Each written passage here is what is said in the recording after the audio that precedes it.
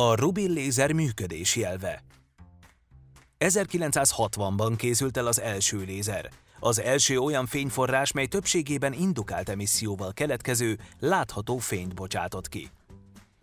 Bár azóta sokat fejlődött a technika, az első lézernél használt ötletek több későbbi eszközben is megtalálhatók, ezért érdemes megismerkednünk működésével.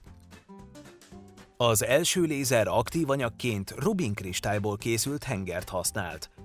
A henger végeit gondosan lecsiszolták és visszaverő réteget gőzölögtettek rá, hogy kialakítsák az optikai rezonátort.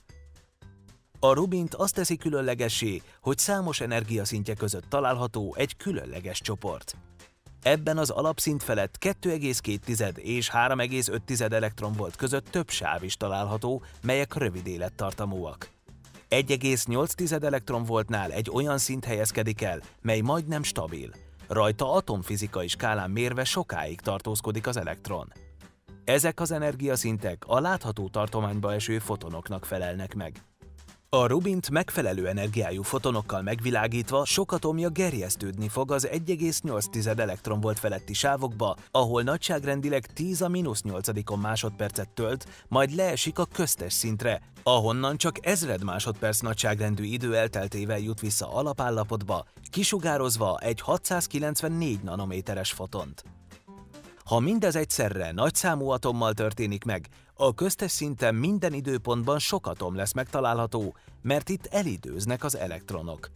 Így valósul meg a Rubin lézerben a populáció inverzió. Most lássuk az első Rubin lézer elvi vázlatát. A berendezés közepén helyezkedik el a Rubin kristály. Az ennek végeire párologtatott fémréteg alkotja az optikai rezonátort. Az anyag gerjesztését, az úgynevezett pumpálást egy xenonlámpa biztosítja, mely körbeveszi a rubint. Fényét tükrök segítségével koncentrálják a megfelelő helyre. A berendezésben az előbb leírt folyamatok hatására megjelenik a lézerfény.